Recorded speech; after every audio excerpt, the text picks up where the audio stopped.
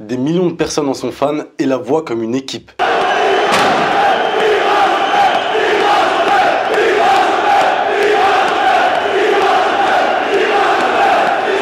Mais quand on est entrepreneur, on ne peut pas s'empêcher d'être impressionné par la gestion, par le marketing et par la performance de l'entreprise PSG.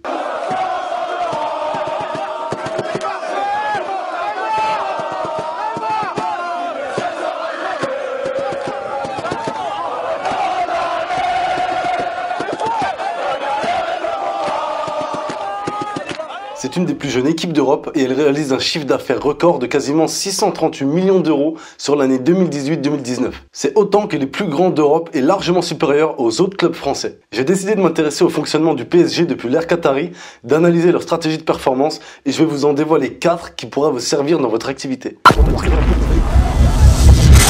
Quand on se lance dans l'entrepreneuriat, on a des rêves plein la tête, on a des références qu'on voudrait imiter, on a des idées reçues sur certaines choses et on se rend vite compte que les choses vont être plus compliquées que prévu. Et si on arrive à créer un persona vraiment réaliste et à poser une offre qui colle parfaitement avec ce persona, on a déjà fait mieux que 90% de ceux qui se lancent dans l'entrepreneuriat. Seulement voilà, pour continuer à être de plus en plus rentable, pour travailler sur son business et ne pas finir salarié de son business, pour motiver des gens intéressés par la mission et pas par le salaire, il va falloir développer des stratégies de performance. Et ça, si peu vous en parlent, c'est parce qu'ils n'ont eux-mêmes pas développé ces compétences. Heureusement, rappelez-vous que la mission qu'on mène tous ensemble, notre objectif commun, c'est d'avoir plus de liberté. Il existe bien sûr certaines personnes qui refusent que nous en parlions. Et pour ça, la performance est un levier ultra puissant. Malheureusement, beaucoup de ceux qui parlent de performance sont soit des mythos, soit has-been, soit les deux en même temps. Et ce que j'aime avec la direction du PSG, et surtout ce qui est intéressant, c'est cette manière de faire complètement détachés des mœurs français. Ils ont de vrais challenges,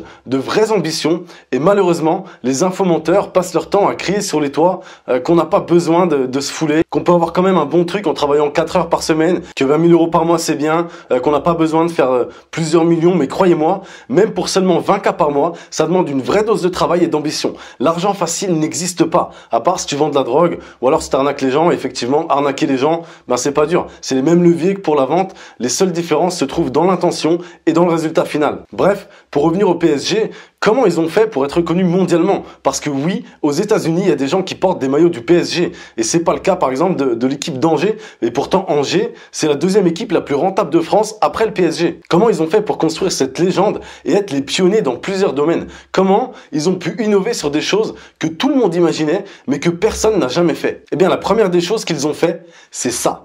Ça a été une bouffée d'oxygène et une vraie, une vraie révolution.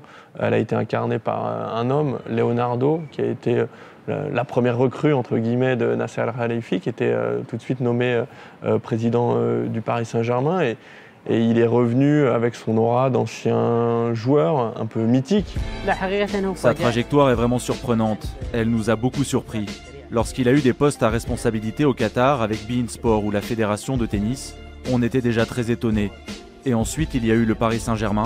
C'est vraiment incroyable. Après le rachat, la première chose que le propriétaire a fait, c'est de s'entourer des meilleurs. Ça paraît basique, mais entourez-vous des meilleurs et n'ayez pas peur de les driver. Ce que je veux dire par là, c'est que euh, tout le monde dit et tout le monde sait qu'il faut s'entourer des meilleurs. Mais quand on regarde bien, la plupart de ceux qui s'entourent des meilleurs souffrent d'un sentiment d'infériorité dramatique qui empêche une vraie cohésion, qui empêche une vraie efficacité. Et je sais de quoi je parle. C'est quelque chose que j'ai expérimenté et qui m'a empêché d'avancer pendant longtemps. Dites-vous que vous avez vous aussi, et surtout vous, votre pierre à apporter à l'édifice. Prenez conscience que vous êtes probablement meilleur que beaucoup de gens dans un domaine particulier. Et si c'est pas le cas, ben c'est le moment de développer des compétences solides. Mais quoi qu'il arrive, restez le décideur absolu de votre votre business, même si vous n'êtes pas le meilleur.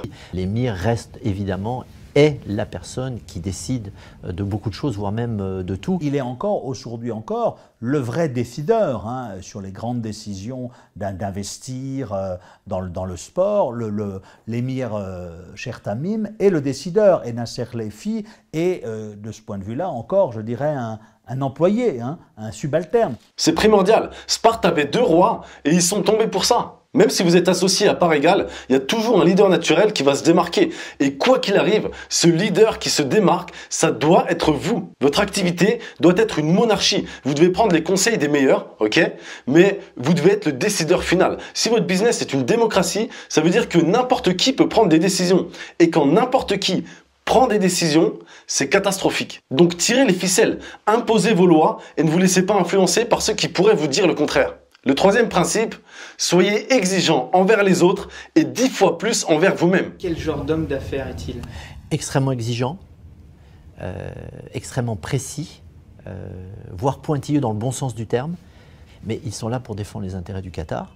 Encore une fois, ça paraît évident, mais dans cette société où on est habitué à la médiocrité, où on baigne dedans depuis tout petit, on a tendance à pas vraiment prendre conscience de ce que veut dire être exigeant avec soi-même. Même les références qu'on a sur Internet nous vendent une idée biaisée de ce que ça veut dire. Ils nous disent qu'il faut se ménager, euh, qu'il faut faire des semaines de 4 heures, qu'il faut être un feignant stratégique. Euh, ils nous disent qu'il faut ne plus rien faire. Ne fais plus rien. Et prends une assistante qui fait tout pour toi. Cherche pas à être organisé, ça te demande un effort. Laisse tomber les efforts. Alors c'est bien si tu veux juste gagner de quoi te mettre bien, mais au moins sois exigeant avec toi dans d'autres domaines. Sois un charbonneur stratégique. Parce que malheureusement, quand l'être humain lâche la pression, il a tendance à la lâcher dans tous ses autres domaines de vie. En plus de ça, ça serait pas un peu égoïste de gagner uniquement de quoi te mettre bien toi? Le truc que j'entends le plus de la part des gens, c'est Mais je n'ai pas besoin de devenir riche. Mec, tu ne sais même pas de quoi tu parles. Tu as besoin de devenir riche. Les gens pauvres sont égoïstes. Les gens qui s'en sortent juste juste sont égoïstes. T'es égoïste. Parce que tu parles toujours de toi. Écoute ce que le gars dit. Tu lui dis, écoute mec, tu dois devenir riche. Et il répond, Euh, euh, non, non, j'ai pas besoin de devenir riche. mais toi, tu parles de toi là. Mais qu'en est-il de ton église et de ta communauté? Qu'en est-il de ces petits-enfants que tu pourrais aider? Qu'en est-il de ces enfants en Afrique? Qu'en est-il de ces problèmes d'eau dont tu parles? Ok? Les gens riches peuvent littéralement changer le monde. Les pauvres ne peuvent pas faire ça.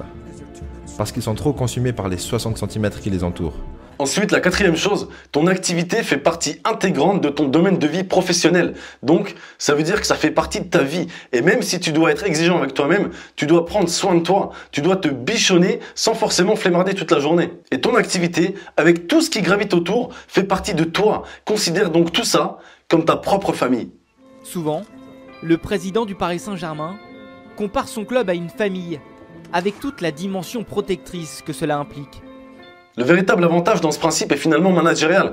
Euh, la famille, on la met à l'aise, on lui donne du temps, on la protège et on la fait évoluer. Et donc, si vous agissez comme ça avec vos collaborateurs, si vous les faites adhérer à votre mission, si vous leur donnez de l'importance et de la reconnaissance pour ce qu'ils font, vous pourrez être exigeant envers eux, d'autant plus s'ils voient que vous êtes exigeant avec vous-même. Et des collaborateurs traités de cette manière, c'est des collaborateurs qui donneront leur maximum, qui vous défendront en cas de crise et feront l'impossible pour rendre l'entreprise pérenne. Même si c'est des prestataires de services, ils préféreront travailler avec vous qu'avec d'autres. Nous, par exemple, on a des prestataires qui ne travaillent qu'avec nous.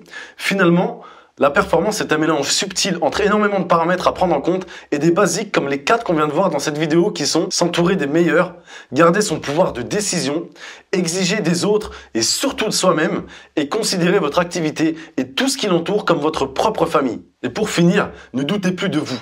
Les gens doutent de vous et pensent que vous n'en êtes pas capable. Les gens doutent de vous, mais est-ce que des gens comme vous peuvent vraiment accepter ça? Les gens doutent de vous, n'oubliez pas pour qui et pourquoi vous faites ça.